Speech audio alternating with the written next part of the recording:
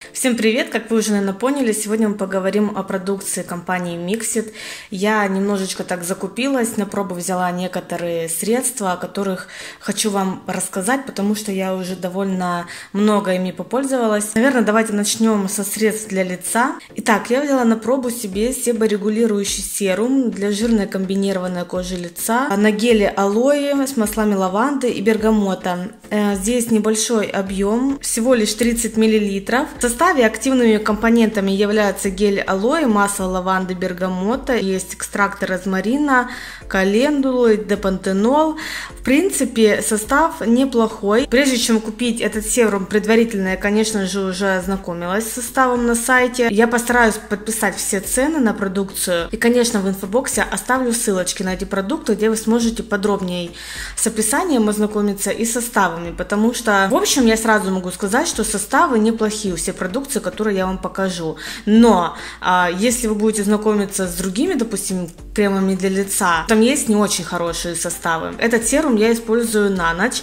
Он имеет очень легкую консистенцию, поэтому это идеально э, то, что мне нужно. У меня э, есть расширенные поры, и как раз очень многие средства, которые являются более плотными, они меня частенько забивают, и с утра я уже встаю с какими-то воспалениями. Серум, он гелеобразный, э, он, у него такой свежий, приятный аромат, он быстро очень впитывается. Никаких воспалений у меня с ним, как вы понимаете, нет. Я использую его уже э, недельки, наверное, две, а может быть чуть больше. Основные его свойства, как и на сайте заявлено, регулировать выделение кожного себума, и там еще написано, что он вроде бы как является таким, знаете, анти стрессовым, а вроде как защищает от всех вот этих вот э, негативных факторов э, окружающей среды. Ну, в общем, описание там большое довольно-таки, если вам интересно будет, почитайте. Но в том-то и дело, что я никаких изменений на своей коже не увидела, ни в лучшую, ни в худшую сторону. Здесь объем небольшой, конечно, я его допользую, потому что он приятный в использовании. Ну, он ничего не сделал, не уменьшил выделение себума, не сузил как-то поры. Результат результата 0, поэтому, соответственно, и брать я не вижу смысла его. Дальше покажу вам аквамист. Я взяла его для лица вместо тоника. Здесь у нас 150 мл. Увлажняющий лосьон спрей для лица с гиалуроновой кислотой с витаминным комплексом.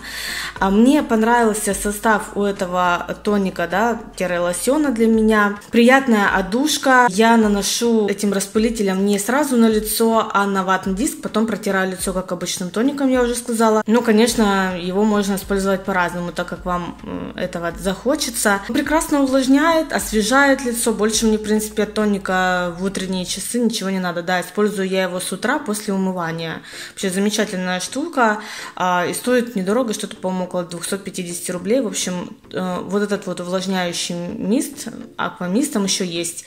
Э, тонизирующий, но мне больше по составу понравился этот. Я могу посоветовать, он классный. Дальше давайте перейдем к телу. Здесь я на пробу взяла себе вот такой вот мини-версии. 100 мл. Это согревающий гель для душа с ванильным эфиром и экстрактами тропических фруктов. Опять-таки состав неплохой, здесь нет каких-то сильно действующих павов, но, скажем так, это не мой просто аромат, потому что я не особо люблю цитрусы, но на какой-то такой летний летний весенний период, э, либо после того, как позанимаешься спортом, очень даже хорошо так бодрит, освежает. Написано на сайте, что он питательный, но нет, у него консистенция такая, она гелевая, и ощущается он больше как обычный какой-то гель, который, кстати, не очень хорошо э, мылится. Ну, с одной стороны, это надо сказать спасибо составу, да, который такой щадящий по своим э, компонентам всем, а с другой стороны, просто у него будет больше расход.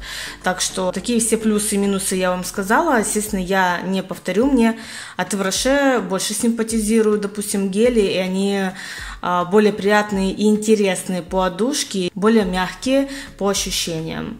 А, так, ну, обычный неплохой гель. На пробу взяла вот такой вот дуэт. Здесь у нас э, также по 100 мл шампунь и бальзам для волос. Начнем, скорее всего, с вами с шампуня. А, я также уже пользовалась на два раза им. Это мягкий шампунь для всех типов волос с экстрактами крапивы и листьев берез.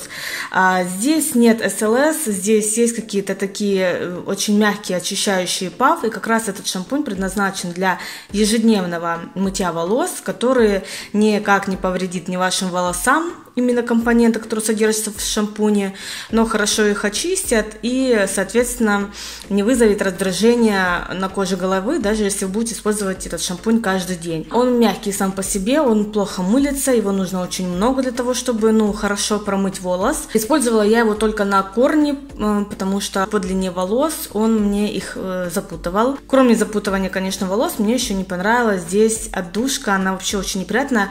Вот знаете, по моему ощущению, это какой-то очень-очень бюджетный, такой рублей за 50, какой-нибудь шампунь э, с крапивой, не знаю, там от бабушки Агафи какой-нибудь или что-то вот из этой серии. В общем, не впечатлилась я этим шампунем. А вот бальзам-кондиционер для всех типов волос с экстрактом крапивы и пептидами пшеницы а, в том же объеме, соответственно, мне понравился. Здесь есть в составе касторовое масло и э, экстракт масла макадамия. Вот у него уже одушка очень даже приятная, мне она очень понравилась. И, в принципе, неплохо воздействует э, на волосы, немножко их разглаживает. Я не могу сказать, что здесь вау-эффект, и этот бальзам всем необходим, и он сделает чудеса с вашими волосами, нет. Но обычный, как такой вот приятный средний бальзам, да, имеет место быть. Если, да, совет посоветовать что-то из этой двойки, то, конечно, я посоветую только лишь бальзам взять. Если говорить в целом, то мне а, понравились стационарные магазины Микси, там все чистенько, большой ассортимент, приятные отзывчивые продавцы, у них есть какие-то там скидочные накопительные баллы на карту, которую вы у них оформляете. На данный момент я больше, наверное, в уходовых средствах обращаю внимание на состав. У меня есть в планах еще прикупить себе крем для лица от этой компании, и я бы хотела, чтобы чтобы вы э, посоветовали какой-нибудь хороший, действительно действенный для жирной комбинированной кожи. Мне нужен обычный гелевый, который не будет закупоривать мне поры в теплое время, которое вот, да, у нас весна, лето сейчас будет. Но в то же время, чтобы он работал, потому что все-таки мне не 18 уже. Буду ждать ваших советов в комментариях, а также посоветуйте а, какие-нибудь средства взять от этой компании. Спасибо за просмотр и до следующего видео. Пока!